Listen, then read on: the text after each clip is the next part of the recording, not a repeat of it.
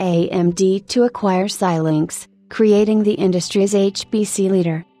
AMD, Nasdaq, AMD, and Xilinx, Nasdaq, XLNX, today announced they have entered into a definitive agreement for AMD to acquire Xilinx in an all stock transaction valued at $35 billion. The combination will create the industry's leading high performance computing company, significantly expanding the breadth of AMD's product portfolio and customer set across diverse growth markets where Xilinx is an established leader. The transaction is expected to be immediately accretive to AMD margins, EPS, and free cash flow generation and deliver industry leading growth.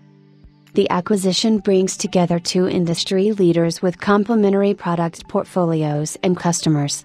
AMD will offer the industry's strongest portfolio of high performance processor technologies, combining CPUs, GPUs, FPGAs, adaptive SoCs, and deep software expertise to enable leadership computing platforms for cloud, edge, and end devices.